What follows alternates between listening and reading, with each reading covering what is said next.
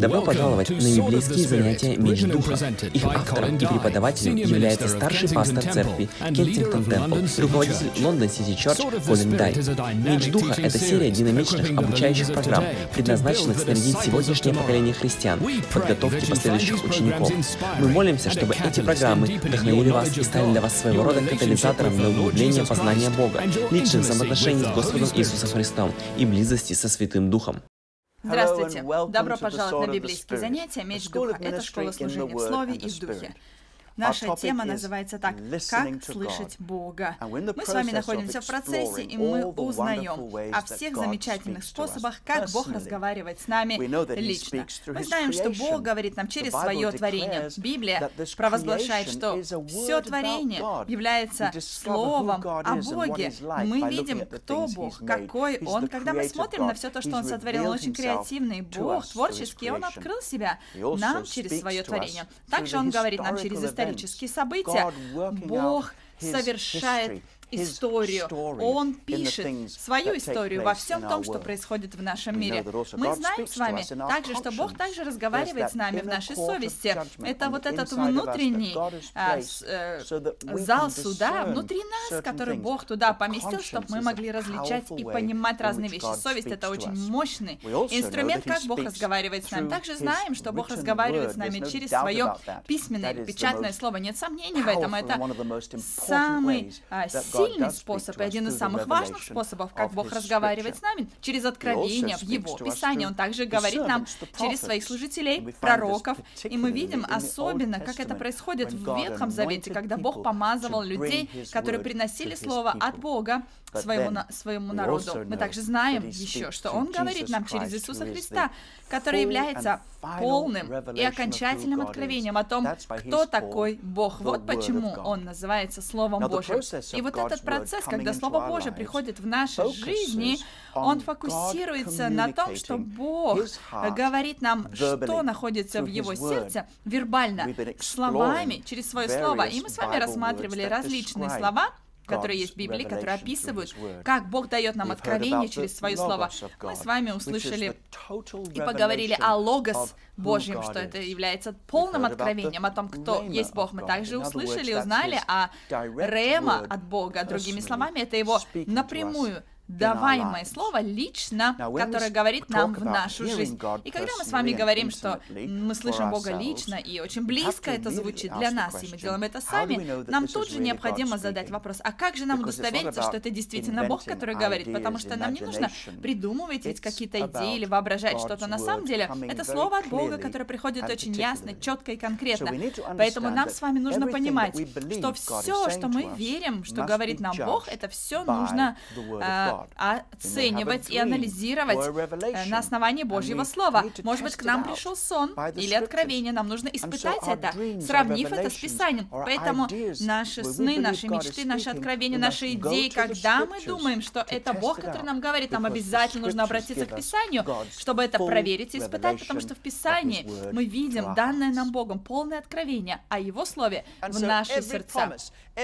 Итак, каждое обетование, каждое пророчество, каждое побуждение должно быть полном соответствии с печатным Божьим Словом. И не только с этим печатным или письменным Словом Божьим, оно должно быть в полном соответствии с личностью Иисуса, потому что Он также является Логосом. На самом деле, ты можешь найти слово, которое является полностью в соответствии с Писанием, и ты даже не сможешь найти недостатки в его богословии, в доктрине или в соответствии с Писанием. Ты можешь сказать, что это место Писания или слово из Писания, но, но оно неправильно. И ты говоришь, ну а как это? Подожди немного, ты испытал это слово, оно соответствует соответствует Божьему Слову. Это должно быть Бог, который мне говорит, нет, не обязательно, потому что даже дьявол может цитировать Писание, только потому что это слово прям вот взятое из Писания. Это не обязательно означает, что это реально слово для тебя от Бога. Многие люди, которые учат разным вещам, они говорят такие вещи, которые звучат в точности, вот как будто бы от Бога. Но когда ты слушаешь, это кажется, что соответствует вроде бы Божьему Слову, но какой дух стоит за этим? Он неправильный. И, может быть, дух осуждения. Кто-то может принести пророческое слово, которое абсолютно верно во всех деталях деталях, если сравнить с Библией, с Писанием и с фактами, но они мотивированы неправильным духом, и тогда это может звучать как резкое слово осуждения. Или они служат людям осуждением, вместо того, чтобы служить людям любовью и а, убеждением от Бога. Это не значит, что каждое слово обличения должно быть от Бога. Нет, Бог тоже может говорить достаточно а, резко и обличающее слово, но все равно оно в соответствии с откровением о спасении и искуплении в Иисусе. Давайте я дам вам пример. Есть так называемые сегодня пророки, которые берут слова Иеремии и применяют их ко всему вообще, что движется. Иеремия говорит, Иеремия говорит, Иеремия говорит. Послушайте, я хочу рассказать вам, кто такой был Иеремия. Это пророк Ветхого Завета.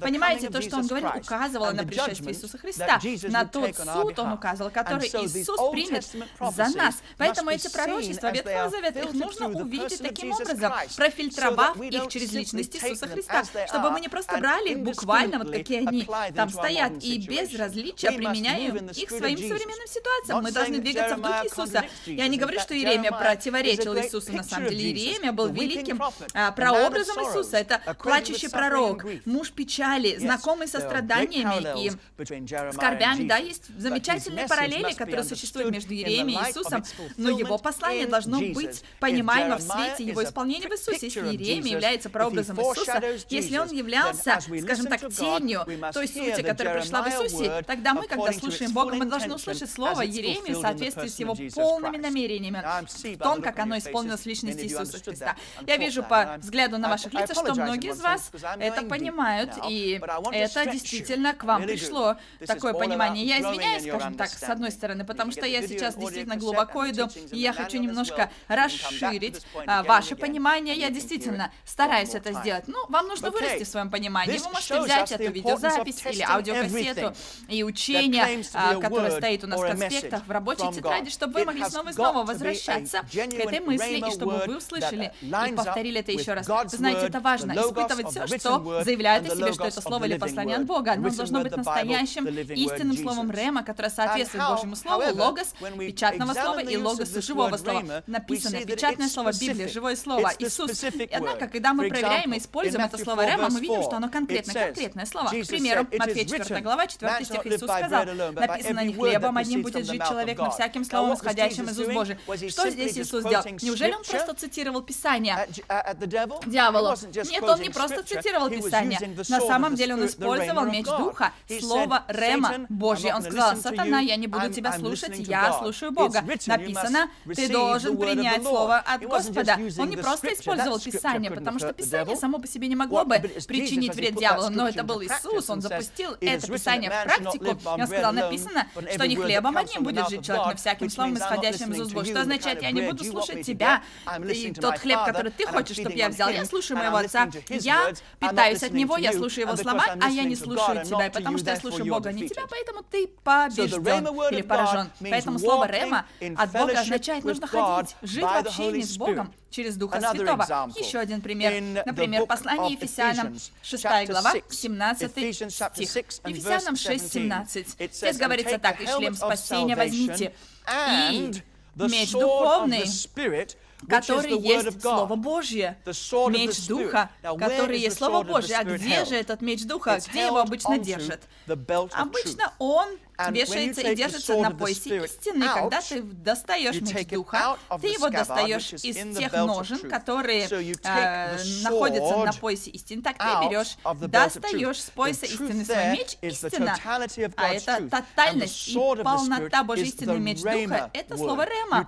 Ты берешь Рема, берешь конкретное слово, ты достаешь из общего накопленного резерва истины, которую ты держишь внутри себя, и ты несешь Божье слово, ты берешь это конкретное слово, которое Бог тебе показывает, и ты его используешь как меч Духа. Это на самом деле откровение Духа для тебя относительно того, как тебе молиться, что тебе сказать в конкретной ситуации, как тебе служить больным, как тебе и куда тебе идти конкретно в том направлении, которое Бог дает тебе. Поэтому здесь мы с вами видим это слово Рема от Бога, оно абсолютно жизненно важно для нас, для нашего понимания того, как мы можем слышать Бога. Итак, нам нужно начинать с того, что мы анализируем, изучаем это, как Слово Божье, написанное Божье Слово связано с Рема, с живым Словом Божьим, о котором сейчас я вам говорю. И теперь, второе послание Тимофея, 3 глава, 16-17 стихи, было бы хорошо, чтобы вы открыли этот отрывок. Здесь для нас говорится следующее, что Божье Слово оно дается по вдохновению от Бога, дается Бога вдохновенно.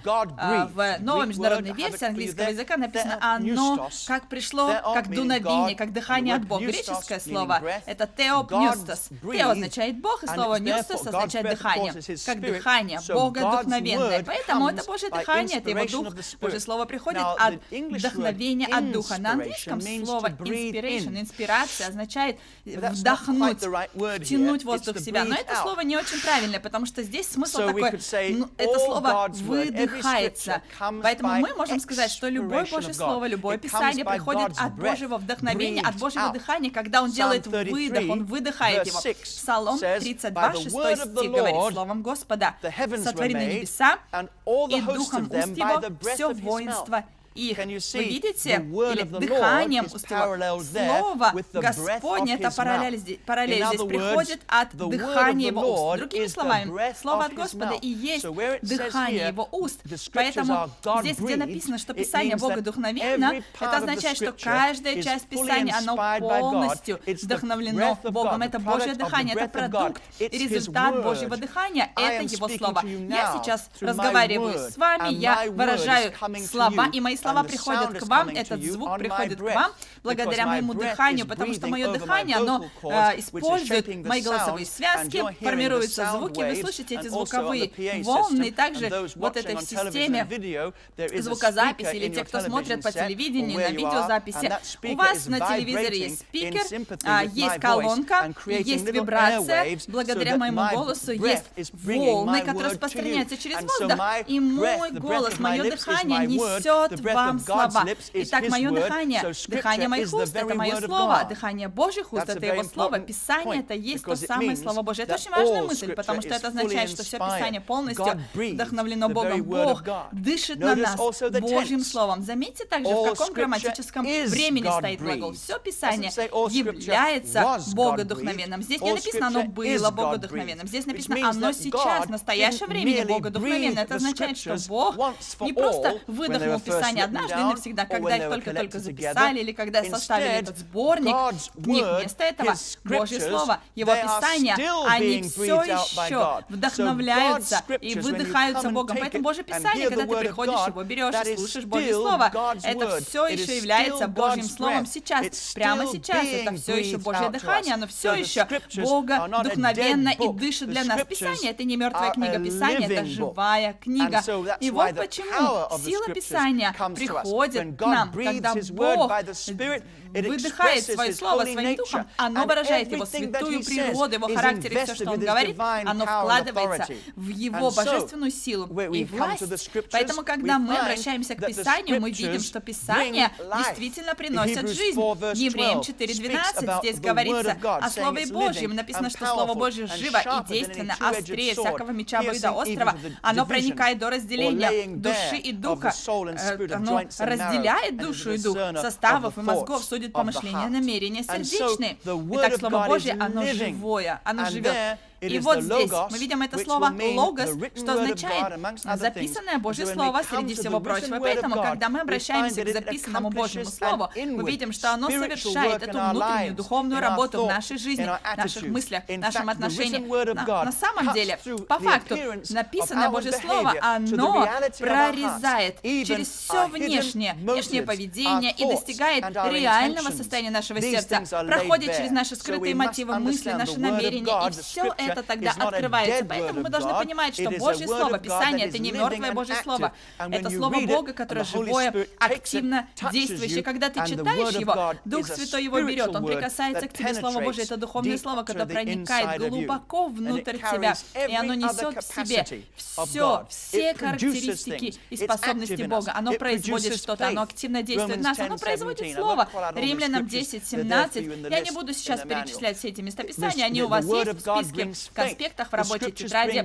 Слово Божье приносит веру, Писание приносит новую жизнь, новое рождение, рождение свыше. Слово Божье. приносит нам духовную пищу, откровение, направление, очищение, святость, награду и благословение. Псалом 1 говорит, что в соблюдении Твоего Слова есть великая награда. Псалом 18, 11. На самом деле, это местописание. Э, слово приносит награду, благословение, исцеление. Он послал свое слово, исцелил их. Как хранить свою жизнь в чистоте? Нужно соблюдать себя по слову твоему. Итак, ты слушаешь, слушаешь слово, оно приносит победу над дьяволом, слово приносит свободу от суда. И сила в Божьем слове, она абсолютна. И Бог может взять любой элемент из своего слова. Может быть, это Иисус лично, в Духе Святом, который говорит нам, или в Писании, через пророчество. Он может служить нам своими дарами, таким образом, делая это Слово Божье, оно действует очень сильно, мощно, приносит э, экстраординарную эффективность, потому что это является выражением личного характера и природы Божьей, и наполнено Слово Его божественной силой. Итак, мы видим здесь этот великий Логос Божий, который приходит к нам в Писаниях. Это Его записанное Слово. И вы знаете, цель всегда является личной для этого и основывается на личных отношениях. Почему Бог потратил так много времени, пошел на такие большие усилия для того, чтобы обеспечить то, чтобы Писание было для нас записано и сохранено. Почему? Потому что Он хочет нас благословить. Потому что Он хочет, чтобы ты вошел в эти личные отношения с Ним. И эти Писания, они сделают тебя мудрым, они умудрят тебя во спасение. 2 Тимофея 3, 15, 17. И хотя откровение о Боге в Писании ограничено, потому что Богу нужно было эту книгу как-то завершить, какое-то время оно ограничено, но не говорит. То есть Он не говорит здесь все, что мог бы, возможно, сказать, но это непогрешимое, надежное Божье Слово, и оно является настолько, насколько возможно, полноценным, э, э, полноценной книгой, где все это записано. Более того, это полноценная запись обо всем, что нам нужно для жизни благочестия. Поэтому оно может устоять перед любым анализом, рассуждением, и мы можем увидеть сразу же практическое его применение. Мы должны просто закопаться в этой книге, погрузиться, мы должны читать и читать, и изучать, и понимать, пропитать себя этим записанным написанным Божьим Словом, потому что там находится, в uh, нем находится Божье откровение. И точно так же, как личное Слово, а, э, Иисус несет в себе две основные характеристики. Иисус, Он является и Богом, и человеком. Точно так же и записанное Слово, записанный Логос Божий несет в себе эти две характеристики. Библия является Словом человека, и также оно является Словом Божьим. Другими словами, это не так, что вот так под диктовку Бог что-то сделал. А люди, святые люди Божьи писали, будучи движимы Духом Святым. И поэтому мы видим, что это слово, которое Бог давал через человека. Поэтому это слово человека, но также оно является Словом Божьим в том, что Он, Он следил, контролировал весь этот процесс, чтобы все, что там было написано, было в точности то, что Он намеревался, чтобы оно было записано, потому что это было дыханием его уст. Люди некоторые спрашивают, как это возможно? Мы не знаем, как может Иисус быть полностью Богом и полностью человеком. Мы не знаем. Две природы, два характера. Он Бог и человек в одной личности, в Иисусе Христе. И здесь мы видим Писание, которое также является и Словом человека, и Словом Божьим. Но это есть Божье Слово в таком смысле, что все, что Бог хотел сказать, Он обеспечил то, чтобы оно было сказано. Некоторые спрашивают, ну как это возможно? Посмотрите на Павла. Он учился, он был образованным, грамотным человеком, он получил откровение, написал две трети Нового Завета. Ну, я вот что вам скажу, когда Бог хотел сказать в точности то, что говорил Павел, он поднял Павла, чтобы Павел это сделал. И он также э, следил, э, наблюдал за образованием Павла, его опытом, переживанием, его духовностью, его переживанием с Богом. Он дал ему помазание, власть и силу, чтобы это сделать. Поэтому, когда Павел говорил и писал, писал в точности то, что Бог намеревался для него, чтобы он записал. Поэтому мы видим, что вот это боговдохновение, Писание, оно звучит во всем Божьем Слове. 66 книг, которые были написаны как минимум 40 разными авторами, охватывая период примерно 1600 лет, и все равно это слово говорит одним голосом, голосом Духа Святого. И потому что это голос Духа Святого, Библия говорит, что это полезно нам. 2 Тимофея 3 глава, с 15 по 17 стихи. Здесь говорится, «При том же ты из детства знаешь Священное Писание, которые могут умудрить тебя или сделать тебя мудрым во спасение веры во Христа Иисуса. Все Писание Бога духовенно или дано по вдохновению от Бога. И полезно. Писание полезно. В новой международной версии английского языка написано «полезно» и применимо. Здесь говорится, что э, это, это полезно не просто, как, например, часы у меня здесь на запястье. Понятно, часы, они как бы полезны, но они не обязательно мне нужны, то есть можно и без них uh, обойтись. Но я их вот так вот одену. Здесь не просто вот так вот, ну, полезно иметь Библию, но можно и без нее обойтись. Здесь, где написано полезно, это значит, есть практичное, важное применение. На практике оно полезно. То есть есть практическое применение. Библия говорит, для чего полезно. Для научения, для обличения, для исправления, для наставления в праведности.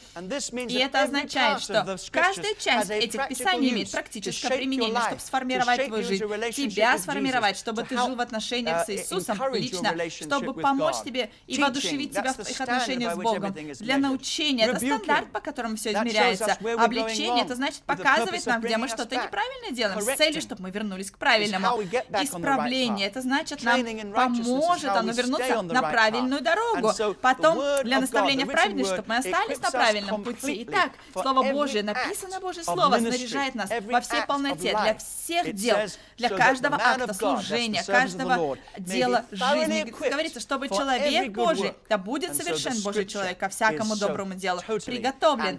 17 стих, 2 Тимофея, 3 глава. Это Писание, оно такое абсолютное, во всей полноте, тщательное и детальное, полностью полезно для нас во всех аспектах нашей жизни. Поэтому мы обращаемся к Божьему Слову, чтобы услышать, что скажет нам Бог. Но Библия — это не просто такая внешняя книга правил. Нет, э, книга живая, активная, и Слово идет глубже, чем просто книга, которая несет какое-то откровение. Это Божье Слово, которое работает в наших сердцах и жизни. Поэтому, говоря о том, как слышать Бога, мы будем делать больше, чем только изучать Писание. Мы будем также и говорить, Господь, а что Ты говоришь мне?